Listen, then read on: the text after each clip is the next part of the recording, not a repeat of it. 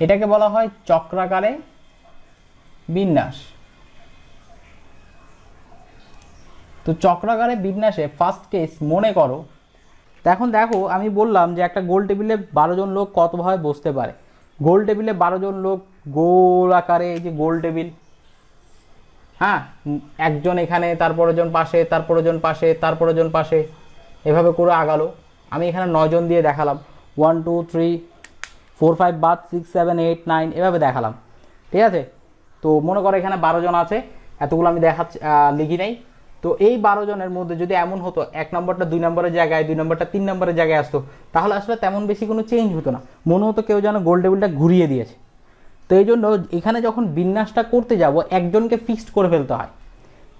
বারো জন লোকের কোনো বৈশিষ্ট্য আমাকে দেওয়া নেই। তারা জাস্ট বারো জন লোক। বৈশিষ্ট্য যদি দেওয়া নেই, আমি যে কোনো একজনকে ফিক্সড করব। বাকি এগারো জনকে তার অবস্থান বেঁধে সাজাবো, ওই একজনের অবস্থান ভেদে। তাহলে স্বাভাবিকভাবে ওই এগারো জনের সজ্জাটা কি হবে? ইলেভেন ফ্যাক্টোরিয়াল তাহলে আনসার হচ্ছে টুয়েলভ মাইনাস ওয়ান ফ্যাক্টোরিয়াল